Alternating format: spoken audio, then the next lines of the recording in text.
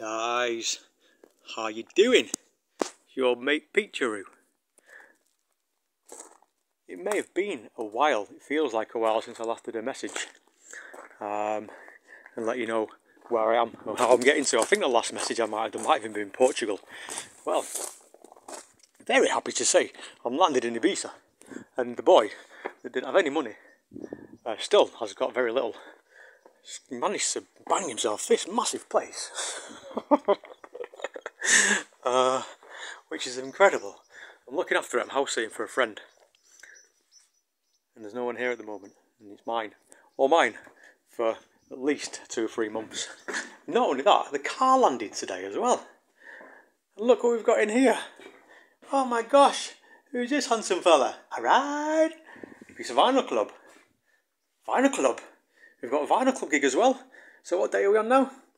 Uh, today's Friday the 15th and the vinyl club gig, which is part of the master plan, landed a couple of days ago. We're back at Malanga, guys.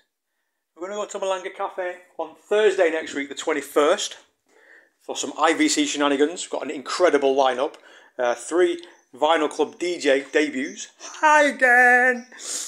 Um, a couple of repeat performers and some incredible plans uh, for the summer. Really, really beautiful plans are coming on for this summer. I can't wait to share it all with you.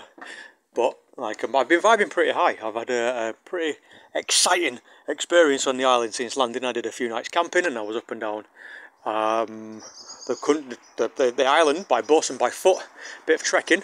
Uh, managed to squeeze a couple of days working in my first uh, three days here, which was good. That sustained me. Um, been putting the word out and manifesting jobs, but it just seems like, ah, full moon. Today's a full pink moon as well. Hi, full pink moon. Putting the word out to manifest a job, but it seems like the universe doesn't want me to work for anyone. So, I'm just going to have to work for myself. At least the universe knows, the miniverse knows that I'm ready to work and I want to work. But, like, isn't it funny how I kind of get to land on my feet all the time? I feel protected. I know I'm protected. I feel protected. I live it. I'm having an incredible experience. This is an experience that money isn't buying. And what it's teaching me, fucking flipping heck, what is it teaching me? A lot, a lot, a lot, a lot, a lot. But it's so challenging in my, from my perspective because, like, I want money. I want money to flow to me.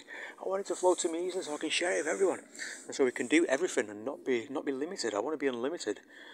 Working so hard, freeing myself from low-lying vibrations, low-lying conditioning, uh, and trying to raise my game all the time. But the conditioning is so deep, so so so deep, like incredibly, interestingly deep.